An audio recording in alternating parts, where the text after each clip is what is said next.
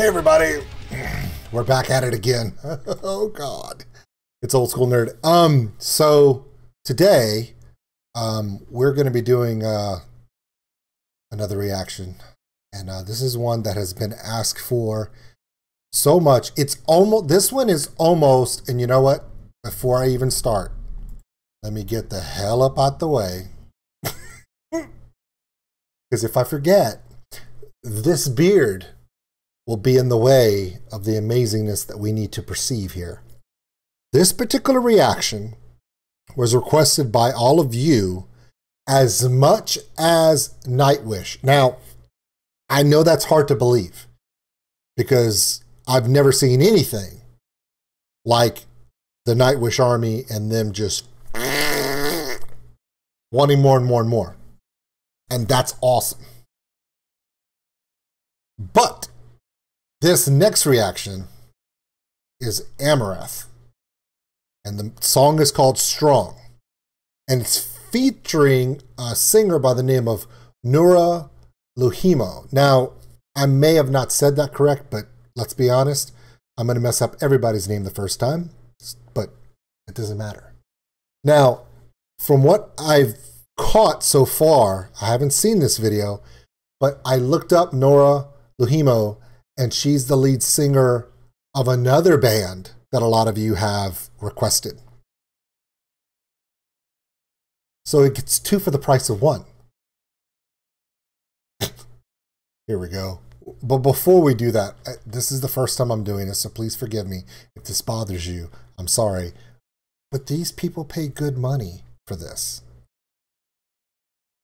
The amazing Patreon supporters and friends of this channel, um,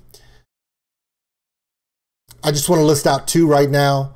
Uh, uh, Eunice, um, it's funny. Again, I, I, told Eunice before, I was like, when he finally explained to me how to say his name, I went, dude, that's like a town 10 miles from me, but it's not spelled like that. Um, the town that's close to where I live is E U N I C E, Eunice. But he's like, dude, in my home tongue, that's how you spell Eunice. All right. Works for me, bro. And of course, uh, Michael. Uh, these two guys are epic friends of the channel. Uh, they have supported me uh, with their contributions, their time, their thoughts, and their ideas. Thank you so much. And of course, um, uh, niece, uh, I'm gonna, I'm gonna just say niece Seven Roxy. It's probably not your name, but hey, that's what you sent me. Um, and of course, Fabrizio Gorla, um, amazing supporters on Patreon. So, um, got to give props out to uh, my family and friends who support me. Um, can't do this without y'all. Cannot do it without you, and I appreciate you so much. Um, so now that I've gotten that out of the way and given props where props are definitely due, this is Amaranthe. The song is called Strong, featuring Noora Louhimo. And um, let's get into this because I am so pumped for this. Um, again, this one has been requested as much as anything else, so it better be good. And based upon so far all the requests all of you have made, y'all have never steered me wrong. Let's get into this now. My name is Old School Nerd, and the link to this video, uh, the original video, will be in the description below. Please check them out. I'm sure they're awesome because, hey, y'all request y'all requested them. Um, like and subscribe to the channel. You guys have been so amazing. Um, the channel is exploding, and I'm just trying to keep up with all the amazing feedback and requests you guys are giving me. Don't stop because this is the greatest thing that I've done in 2020 outside of um, my family and and those that I love around me. Um, y'all are in there too now, so let's do this. Here we go. Amaranthe Strong.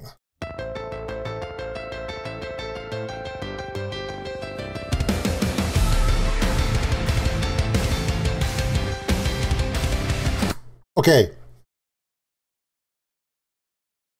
I'm gonna back this up.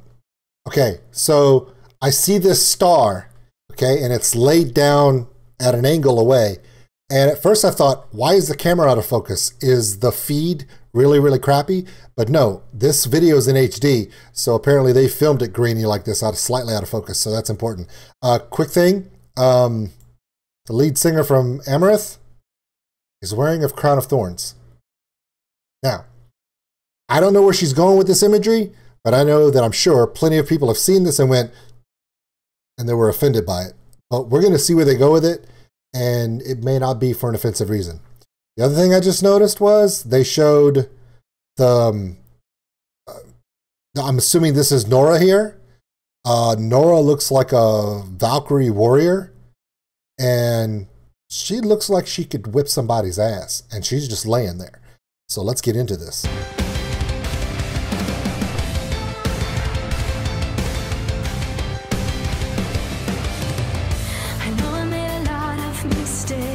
Oh, that voice.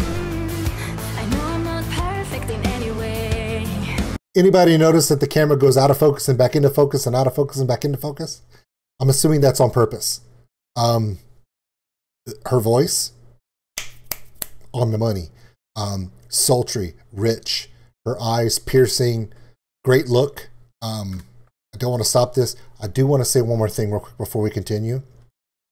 Has anybody else noticed that this iconic look of someone within a pentagram star in this form, although it appears that she is taking the form of Jesus on the cross here, I don't believe that's the case. Um, if you go and search on Google for a image like this, you will find it in a very old rock band's um, iconic album cover. I'm not going to tell you what it is. It's your job to go find it.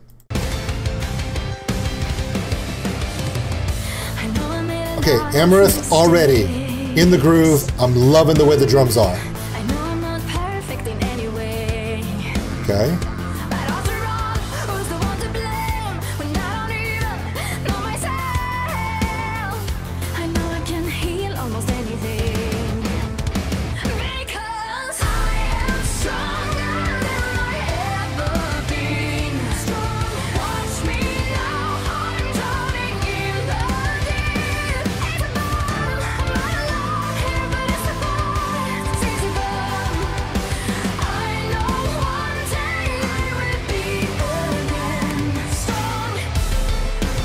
Okay, if if that's if that's the lead singer of Amaranthe and that's her duet, if if Nora is the person harmonizing with her vocals, they need to get together more often because the I'm going to try to give you guys an example real quick that the, the first thing that came to my mind is if you here's an example from my channel. Go watch the um, the Floor Jansen cover of Alone by Heart. Have you noticed it's an acoustic version, and when she goes into the chorus, there seems to be something missing, right? And it's hard to say that there's something missing from Floor Jansen's vocals, but everyone that's seen the song Alone by Heart originally, when when Ann Wilson would go into the chorus, her sister Nancy would join her and they harmonized in such an epic way, it elevated the song. Floor did an amazing job in her rendition of it, but she didn't have a backing vocal to raise her vocals up. And I that's the only drawback I felt to that cover of Alone by by Floor was that there was no backing vocal with her to elevate that that chorus. I've only seen less than a minute of this song and this video. And when they jump into that chorus, Nora, the two vocalists connection. I don't know who's high. I don't know who's doing the low. I don't know who's carrying the melody, and I don't know who's harmonizing. All I do know is the last time I heard two women that instantly they're singing together made a song go from here to off the screen and change a dynamic like that, for me, was Heart. So, after only hearing a minute, this could very easily be one of my favorite songs on YouTube just because of that one iconic dynamic between two strong, powerful female singles, singers that complement each other that when you fuse them together, it elevates a song. It's similar to two guitarists, a lead and a, and a rhythm, when you put them together, it changes music from just being a song to an iconic sound that gravitates people into it. We're a minute in, and I and I am I'm pumped. I mean, I've got I've got I've got freaking I have the hair. The hair is standing up on my arm when I heard them two singing together. This is insane. I'm pumped to hear more. I want to hear if the, if the other if the other vocalist does a chorus. I mean verse. Oh, she is.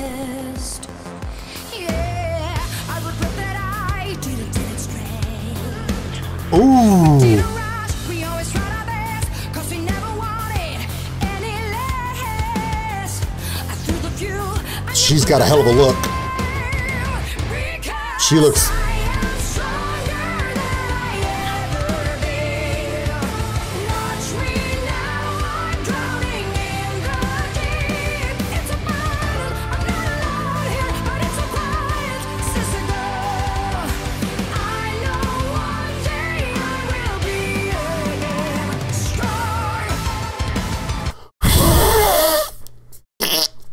Done, done.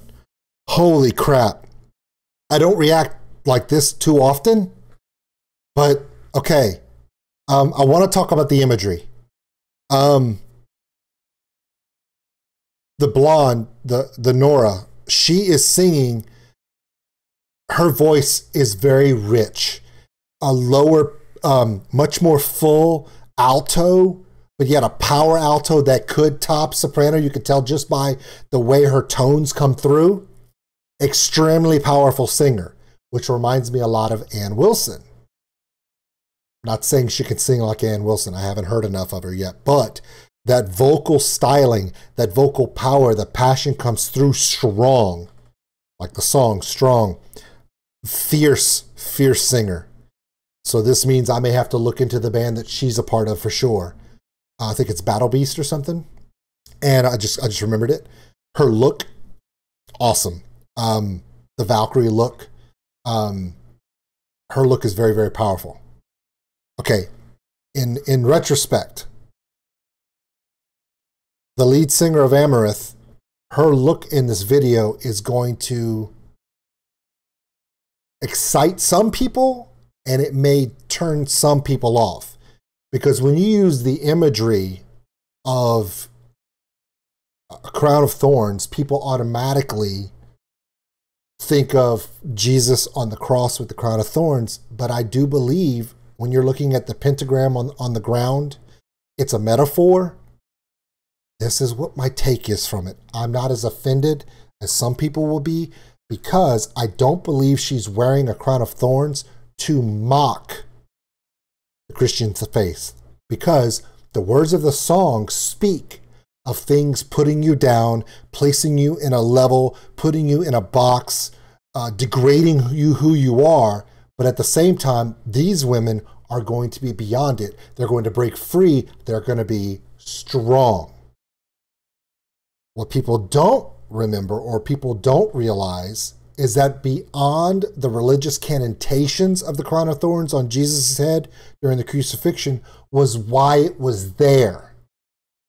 If you know your biblical history, the crown of thorns was placed upon Jesus' head before he was put on the cross as a mockery of him.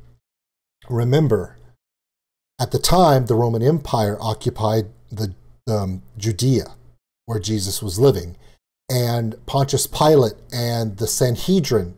The Sanhedrin was the spiritual leaders of the Jewish community of, of Judea. At the same time, they were occupied by the Roman governor, Pontius Pilate. So the Sanhedrin thought that the teachings of Jesus were heresy and um, he should be put to death for it.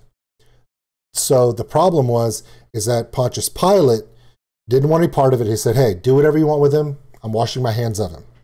And then the Sanhedrin dictated that he should be crucified after they beat him and everything else.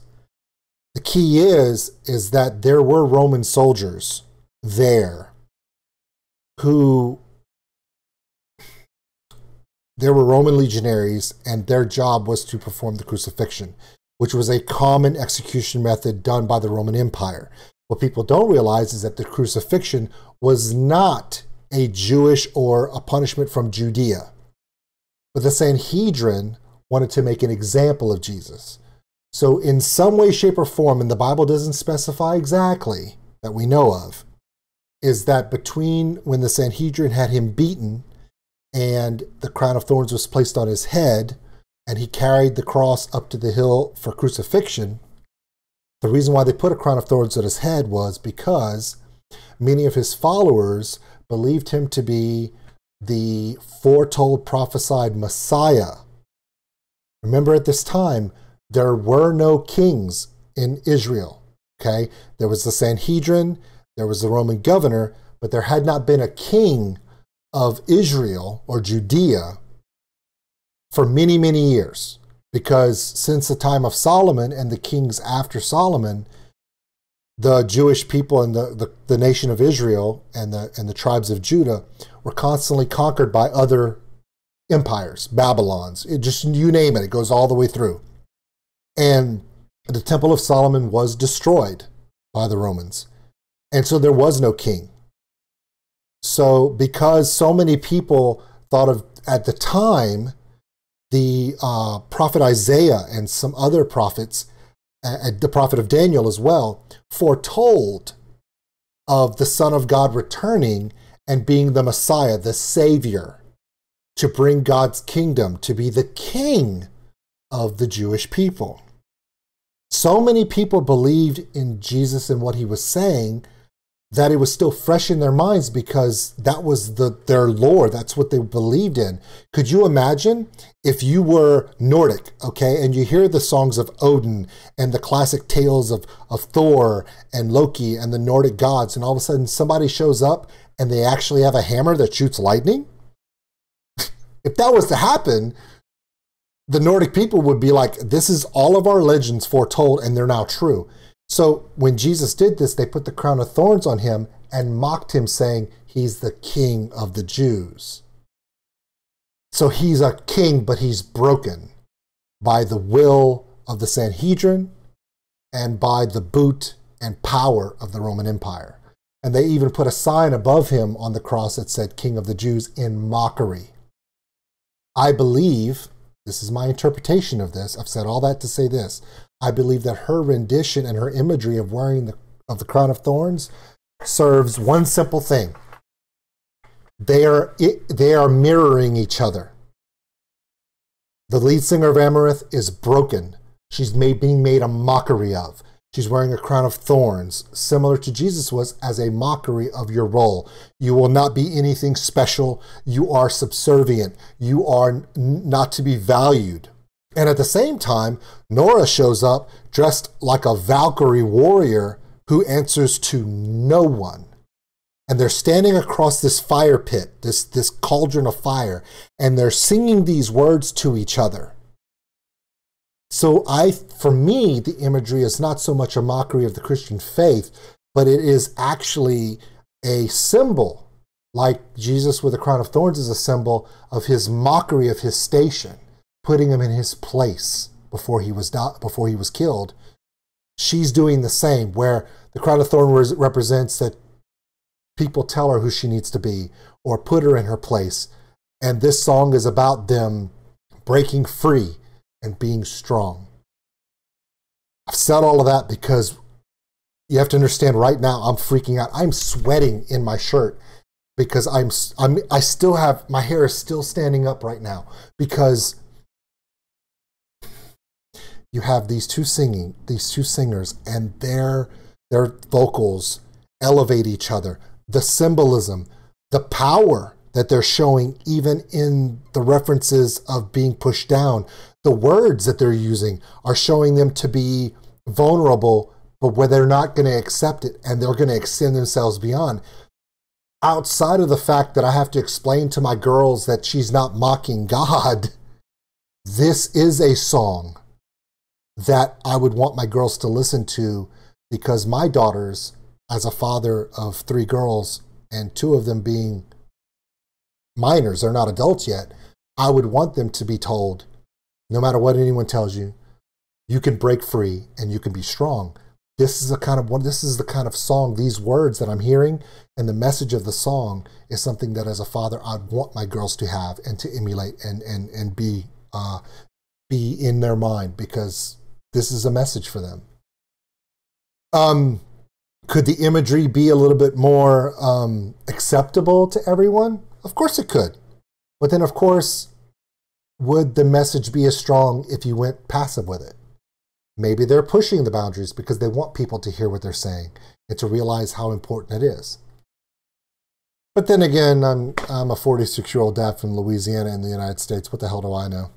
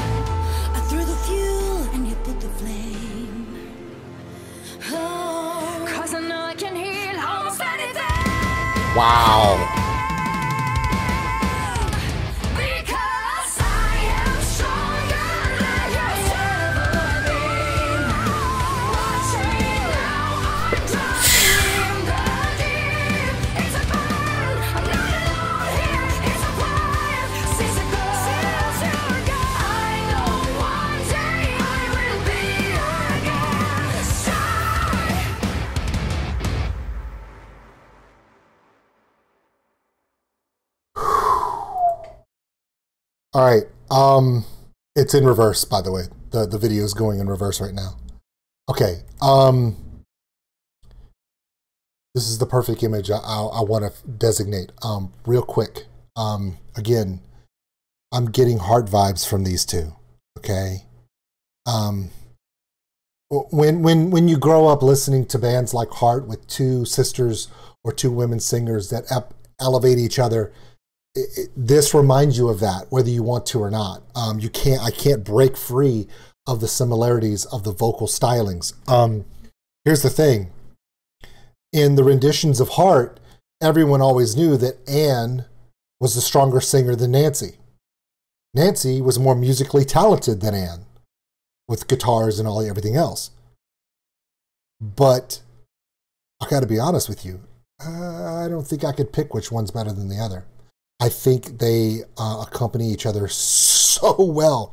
Here's what's really weird these vocals, these lyrics, this arrangement of this song, the way the, the choruses are set, the way the bridge is placed, the arrangement of these tags of vocal um, shouting um, or call outs or battle cries before they jump back into the chorus, the words of the chorus.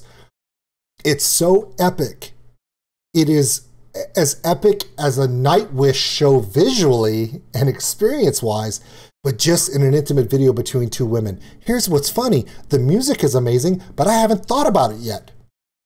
Because I really believe that Amaranthe, as uh, they are amazing musicians, I got to be honest, the, the musicians of Amaranthe have literally built a vehicle, and these two women rode that vehicle and were the stars of this video, not just visually in the video, but their vocals. Not only is this song on the playlist, this song is on the playlist when I'm driving in the car with my daughters. another song this reminds me of, there was a song done by Fozzy. Yes, Fozzy. Not the Muppet. Technically, yes, the Muppet. But the band that's le- the lead singer of it is Chris Jericho, the wrestler, right? And they did a song a couple of albums back called um, Unstoppable. And it was with a female vocalist that kind of did the lead, and Chris Jericho did backup vocals for her. And the song was about being unstoppable and that you couldn't break her. She was unstoppable. And I'm telling you right now, my two youngest daughters we listened to that in the car every day on the way to school, every day on the way to soccer practice. This was this was my daughter's battle anthem. Fozzy Unbreakable. Just check it out. I'm sorry, Unstoppable. Check it out. Just check it out. Trust me. It, if you're if you're if you are a parent of a daughter or or you're a woman and anyone has ever given you shit about you're a woman so therefore you have to be in a certain place or have a certain identity or a certain level that you can achieve drop two big middle fingers and listen to Unstoppable by Fozzy or this thing right here. Um I'm a I am literally I'm sweating in my shirt right now. I, I just can't get over this song. I'm gonna I'm gonna listen to this a few more times. Um, that was Amaryllis Strong featuring Noora Louhimo. And if this is what Laura Louhimo does with Battle Beast, I'm gonna have to dig into this one too. And hats off to Amaryllis. This was an amazing um, duet. This was the visuals were amazing. The message was poignant. And I cannot say enough about it. However, it is YouTube, so I can't talk forever. I gotta go. Um, like and subscribe to this uh, channel. Um, of course, the link to this video is in the description. Check this thing out. It is so freaking good. Again, this blows my mind. And it takes a lot to blow my mind. It gave me freaking chills. It never happens. This isn't emo- as emotional for me on a hype level, like I'm ready to go fight somebody right now or go run a mile or freaking. I really feel like I could go to battle right now after listening to this, emotionally amped up as much as Constance from Spiritbox welled up in me emotions of grief and loss did. I don't know about all of you in YouTube land, my followers, my supporters, my Patreon buddies, um, and supporters and family, but you, all of you, ladies, gentlemen, and y'all have really put emotion in my face, and I'm barely hanging on because it is. I'm hyped. I gotta go. I gotta go take my blood pressure. I'm pretty sure it's rizzed up. Okay, that was Amaryllis. I'm out of here. Uh, old school nerd, I'm to go take a walk so I can catch my breath because that was so freaking good. Talk to you later. Bye.